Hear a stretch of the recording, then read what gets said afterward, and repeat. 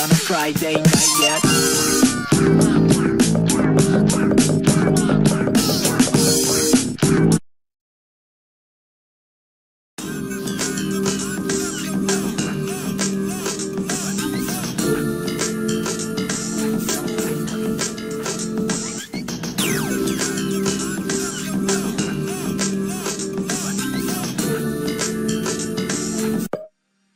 Three, two, one, go!